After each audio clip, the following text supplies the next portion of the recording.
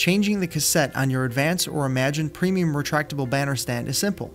Begin by pulling the top rail out slightly and flipping open the cassette door. Carefully remove the old cassette from the outer cartridge and set aside.